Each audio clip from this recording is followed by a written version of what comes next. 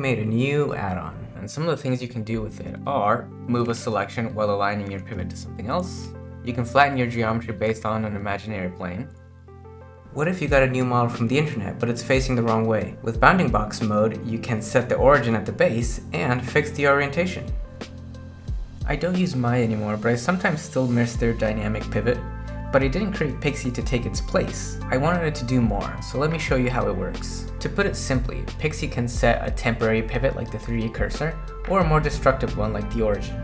To be fair, Blender has a lot of options for placing and orienting your gizmo. If I wanted to move this geometry but align it to this edge, all I have to do is create a new orientation and then reselect these faces. So not that big of a deal here, but imagine your original selection was something much more complicated. It's kind of silly to have to remake it just because you wanted to rotate your gizmo. But with Pixie, you can align to anything else and never worry about saving your selection or remaking it. And once you're done, if you want to reset your pivot, just double tap the activation key. So how do we use it? Press D to activate, and if you click, you'll place the cursor. You can also simply hold down shift to align to an element's normal. If you had a gizmo enabled, it's going to follow your cursor, but this works without gizmos too if you prefer using Blender's modal transformations. So I can still rotate this face around this point for example. Rotate X, no gizmos required. If you want to be more precise with your alignment, then you can use the other pivot point modes, or PP modes for short. So this is mode 1 because we only click once. For mode 2, you can either press the 2 key, or you can simply click and drag and it will switch to mode 2 automatically, which simply means you're placing two alignment points. As you might imagine, mode 3 gives us the most control because we can click to place, another click to align, and then one final click to give our pivot some additional roll. But note that at any point in time, if you're happy with your gizmo, you can press spacebar and confirm it as it is. Let's go back to this example from the intro. Let's say I want to flatten this geometry. There's a lot of flattening scripts out there, but they're usually going to flatten to the average plane. If I want to define my own plane, we can use Pixie for that. So I want the plane to start here, align here, and for our final click, just make sure you're keeping track of the up axis, in this case it's X.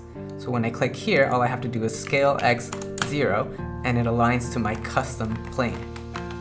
If you try to do the same thing with a gizmo, you'll notice how you can't snap to 0. However, while you're scaling, just tap the 0, and you'll get the exact same result.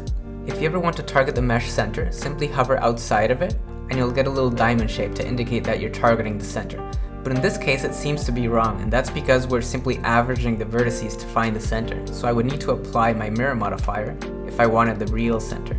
You can also enable the bounding box by holding down the Alt key, or you can press B and simply keep it enabled. Notice that sometimes there is a difference between the bounding box center and the mesh center. If you're so inclined, you can actually combine snapping to the bounding box for example, and then disabling it and aligning to the mesh. And if you want, you can then re-enable it and snap to it again. If your object happens to have some rotation, you can still use Pixie and press G to change between global or the local bounding box. This also works without a bounding box by the way. But so far, we've been setting the 3D cursor, we can actually place the origin as well by holding down the control key, or if you want to keep it toggled, you press O for origin. The cool thing about using modifier keys though is that you can combine them. For example, if I want to set the origin at the bottom of this object very quickly, I can hold down Alt, Control, and then just click at the bottom. There's my new origin let's go back to our intro example because everything we've covered so far in terms of placing the cursor also applies to placing the origin. So we can use our pivot modes, our bounding boxes, and with this character, my rotation is applied and I might try to go into edit mode and move it, but things might be a little bit slow. And even if I rotate it exactly how I want it to, the origin is still up there, so I still have to finesse things. However, with Pixie Pivot, I can just activate it I already have my bounding box and origin mode enabled, and I'm going to click at the base. I want to set the vertical axis, which is not supposed to be Y, so what can I do in this case? Simply press the Z key and that will switch your current axis. So I'm going to click that, and Y is forward, right? Nope, in Blender, forward is actually negative Y, so the Y axis should go backwards. And that's it, my origin is set. I can now clear rotations, clear the location as well, and everything is right with the world. Just to reiterate, you can pick what axis you're aligning to at any point in time. Even if you've already locked in one, for example, Y is set, I can still press Y and then flip them around. So X, Y, or Z, whatever you want. If you ever lose track of what mode you're in or what settings or states are enabled, you can just press the R key and that will reset all of these settings that you see down here to their installation defaults. So this will not reset the entire add-on, simply these settings. So you can feel safe about pressing R. Speaking of settings, let's go to our add-on preferences and see what we can change. So if we go to here and then we find Pixie, let's go over some of these sections. So under key maps, we change our activation. So if Pixie doesn't seem to be activating when you're in edit mode, try a different hotkey. I think by default, D is also used by DECALmachine, for example. So it's up to you to find something that works. We also have a section where we can change what our modifier keys do. And if you happen to use Maya navigation, then just click on this button and you're set. Obviously that disables the alt key for bounding box, but you can set something else to use the bounding box, or you can simply use the sticky toggles, which are also fully customizable. So if you don't like enabling pivot point modes with 1, 2, and 3, you could set it to 7, 8, 9. If you're like a crazy person and no human prison can hold you, that's something you can do.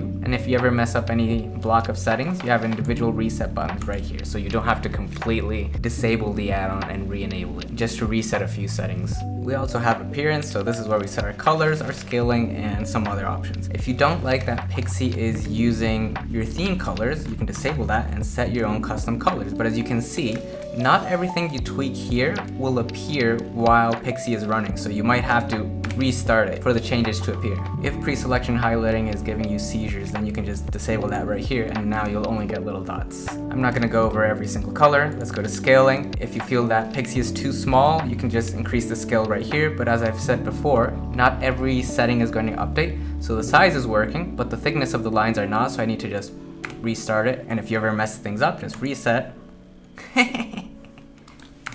and restart. And once you're more familiar with the add-on, you can even disable the fixed HUD so it's not there all the time or just change its location. The last section is behavior, but I just want to make something really clear. When Pixie is running, the modifier keys are temporary, so if I hold down Alt for bounding box and then I just place my cursor, next time I enable Pixie again, there will be no bounding box because modifiers are temporary. However, if I press B, which is the sticky toggle for the bounding box, it's not only going to be enabled the next time we activate Pixie, but it will still be there the next time we restart Blender and activate Pixie. If you don't like that Pixie remembers these sticky toggles, you can disable this button right here, and that will give her amnesia. So with the setting disabled, you can now set any values that you want Pixie to always start with no matter what you enabled or what you pressed. There are some secret keys you can use to adjust the size of your pivot without going to the preferences. For example, numpad plus to make it bigger, numpad minus to make it smaller. Oh, look at this little thing. Woo. The numpad asterisk to reset. I think that is everything we can do, but there are a few things we cannot do, at least not at this point in time. For example, Pixie only works with one object at a time. The reason I was able to set a new origin for this character and a new orientation is because I merged all of the individual pieces. So another thing to note is that I didn't originally design this to work on sculpted characters. So this is only 1.7 million triangles, not that bad.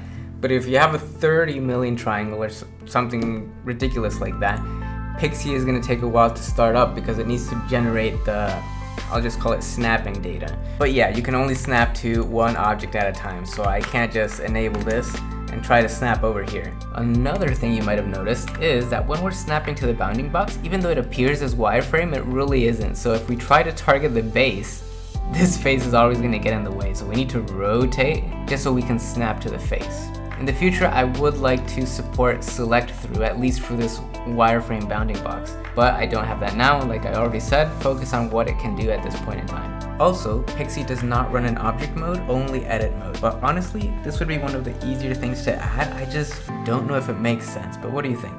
That is all I got for now. But if you have any ideas or feature requests, make sure to put them in the comments so I can ignore them. And if a really bad idea, you're reported.